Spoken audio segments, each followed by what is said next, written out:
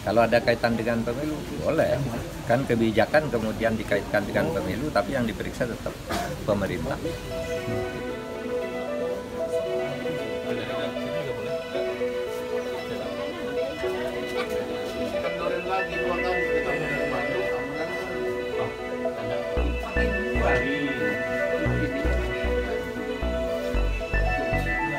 Bawaslu itu tidak bisa diangket, yang bisa diangket pemerintah. Kalau ada kaitan dengan pemilu, boleh.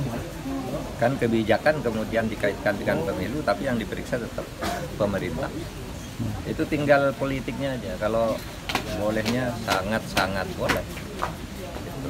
Ini kan sekarang seakan disebarkan pembicara juru bicara juru bicara untuk mengatakan bahwa angket itu tidak cocok untuk pemilu. Siapa bilang tidak cocok? Bukan pemilunya, bukan pemilunya, tapi kebijakannya yang berdasar kewenangan tertentu. Tapi itu bukan anu ya, itu urusan DPR dan parpol ya. Saya enggak enggak enggak ikut di situ karena saya saya tidak punya wewenang untuk melakukan itu. Tapi kalau sebagai ahli hukum saya ditanya apakah boleh? Amat sangat boleh. Oke.